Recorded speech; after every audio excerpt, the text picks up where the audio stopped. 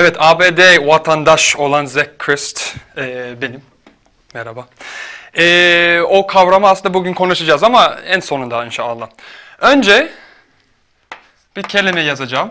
Çevre dostu. Bu kelimeleri iyi biliyoruz. Çevre dost. Yani düşman değil. Peki çevre dostu mesela çevre dostu araba, çevre dostu teknoloji, çevre dostu, dostu neyse.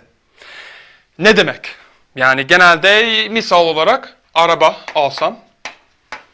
Çevre dostu araba yani daha az emisyon veren araba demek.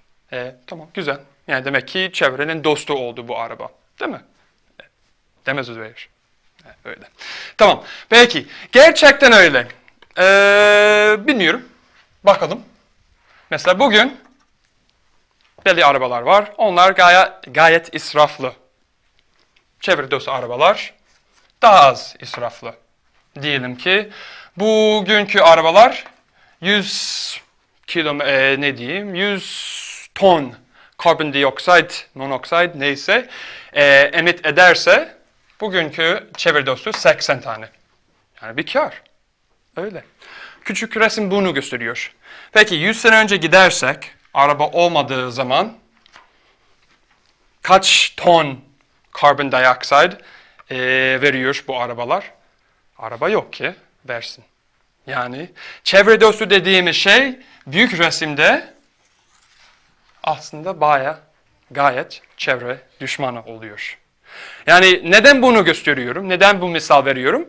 Başlangıçta yani istediğimiz yerden bakarsak yani küçük resimde istatistikler belli bir anlam verebilir. Çevre dostu kelimesi dost olan bir şey gibi gözüküyor bizim için. Ve lakin büyük resime indiğimiz zaman veya genişlettiğimiz zaman ne oluyor? Aslında dost değil, baya zararlı oluyor. Dolayısıyla kelimeleri iyi anlamamız lazım. Kelimeler ne anlama geliyor? Yoksa sadece kelime çevre dostu dediği için gerçekten dost diye bir şey yok. Peki oradan başlayacağım. Şimdi ikinci misale geçeceğim. Doktor. Soracaksınız neden doktordan bahsedecek? Çünkü yani biz hepimiz Türkiye'deyiz ve Avrupa'ya girmek istiyorum. Yani koşa koşa girmek istiyoruz. Nedense bilmiyorum. Avrupa'ya ben de gitmek istemiyorum. Yaşadım. Neyse. Ee, Avrupa bizi eleştiriyor. Tenkit ediyor. Türkler biz derken yani Türk yani bana da bu Amerikan vatandaşı dedi de ama neyse. Biz Türkler, bizi Türkler tenkit ediyor. Nasıl? Ya Türklerin doktor sayısı çok az ya. Yani bize göre, bize nispeten çok az doktorları var. Dolayısıyla bunlar gayet gelişmemiş. Yani geride kaldı. Çünkü doktorları çok az. Eyvallah, teşekkür ediyorum Avrupa. Ne derseniz deyin. Ee, bakalım çok doktor olması ne demek? Yani gerçekten doktorların varlığını tenkit etmiyorum, kötü olduğunu söylemiyorum. Ama bu ifade çok doktor olması iyi bir şey. O farz, o ön kabulü ee, biraz tahlil etmemiz lazım. Ne gösteriyor? Çok doktor olması. Bize gösteriyor ki toplum aslında çok hasta. Veyahut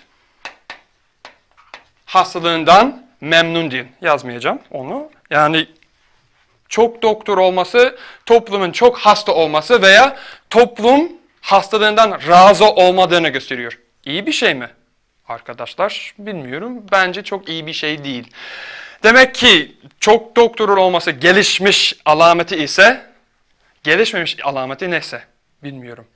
Bunu biraz daha genişletebilirim. Mesela çok psikolog ne demek? Yani düşünelim az önce. Çok psikolog, yani psikolog var bizim toplumumuzda. Demek ki çok deli var bizim toplumumuzda aslında değil mi? İyi bir şey mi çok deli olması? Biz de çok deli olduk, çok bilmiyorum. Ee, dolayısıyla neden? Bunu da göstereyim. Bu da ikinci misal. Birinci misal, kelimelerin anlamına göre kullanmak lazım. Ve onu yapabilmek için büyük resme bakmak lazım. İkincisi de, yani o kelimeyi kullandık da ama o yani çok doktor olması daha vakadan bahsediyoruz. Bu vaka ne gösteriyor?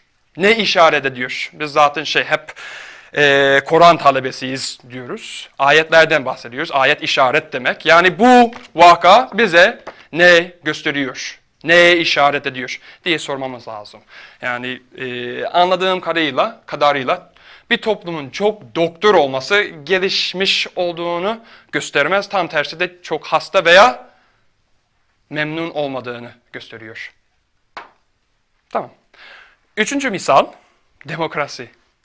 Bizim yani ulaşmak istediğimiz nokta demokrasi. Biz de demokrat olsak da her şey çözülecek. Eyvallah. Biz de bayağı olgun bir demokrasiden geldik Amerika'da. Olgun demokrasi ne olduğunu bilmiyorum. Yani gayri olgun ne demek bana sorsan saçma geliyor ama neyse. Amerika bir demokrasi. Ve orada her şey yani tıkırında çalışıyor.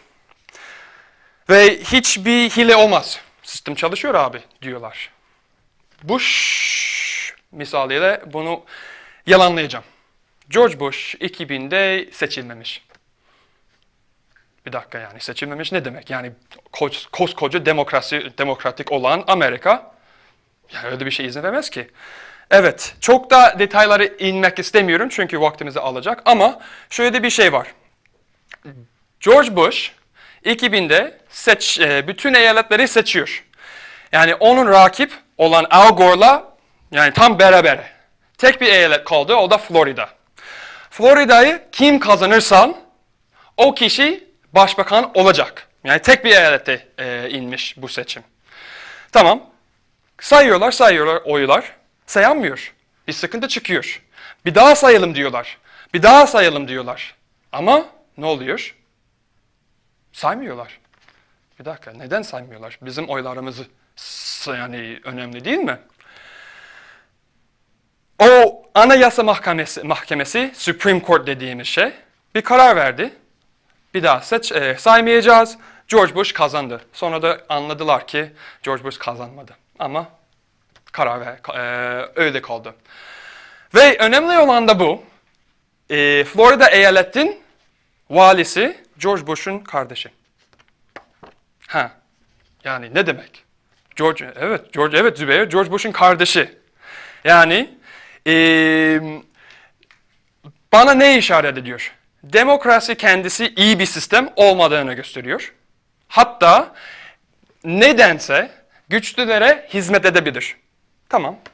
Ben öyle biliyorum. Zaten Amerika yüzde yani oy verecek oran, e, verebilecek kişi sadece yüzde ellisi veriyor. Yani çok az bir rakam, çok az bir miktar oy veriyor Amerika'da. Ben hayatımda hiç oy vermedim mesela. Ve vermediğin, e, vermeyen çok kişi tanıyorum. Tamam neyse. E, şöyle bir şey. Güç, güçlülere hizmet eden bir sistem demokrasi, illa demokrasi olacak mı? Yok. Her yani bütün sistemler, saltanat, monarşi, demokrasi hepsi de güçlülere hizmet edebilir. Ama aynı zamanda demokrasiler, e, saltanatlar ve kraliyetler, monarşi, e, monarşiler gayet adil olabilir. Hazreti Süleyman aleyhisselam misal herkes bilir. Çok adil bir sultan. Yani hiç kimse onu tenkit etmeye cesaret etmez. Dolayısıyla mevzu şey değil, demokrasi, saltanat, bilmem ne. Asıl önemli olan o içindeki halkın dürüst olup olmadığını. Çünkü halk dürüstse, saltanat da olsa çok daha adil bir saltanat olacak. Halk da yani zalimse bir demokraside bayağı zalim bir demokrasi olacak. Yani dolayısıyla biz bu putları kıralım diye e, yani önemli olan diye düşünüyorum. Peki sonda vatandaşlık. Vatan kelimesini herkes biliyor. Yani vatan yaşadığımız yer. Daş eki herkes de biliyor. Yani karındaş, kardeş, e, yoldaş. Yani beraber yapan kişi. Yani başlangıçta yani değerli sunucumuz bana Amerikan vatandaşı dedi. Ama ben hangi vatanda oturuyorum, yaşıyorum? Ben hangi vatanın suyu içiyorum? Türkiye. Yani bu vatandanım. Yani şimdi bu vatandayım ve bu, bu vatandanım.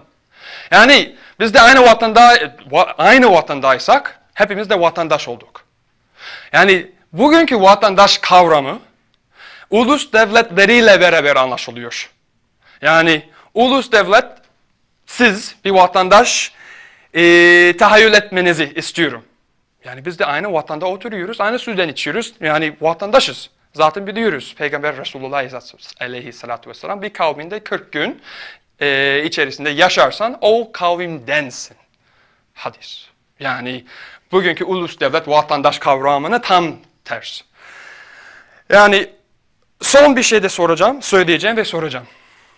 Araplar pasaport kelimesine cevazi sefer diyorlar. Cevaz, herkes biliyor. Yani izin. Cevaz, sefer. Yani sefer edebilmek için, seyahat edebilmek için devletten e, cevaz almam lazım. Gerçekten ben devletin malı mıyım? Çünkü pasaport onu gösteriyor. Ben istediğim şekilde e, çıkamam. Neticede bu hapishanede kalmak zorundayım. Bizim neyse e, baştakilerin izin izni olmadan gerçekten doğru bir şey mi diye sormak istiyorum. Teşekkür ediyorum.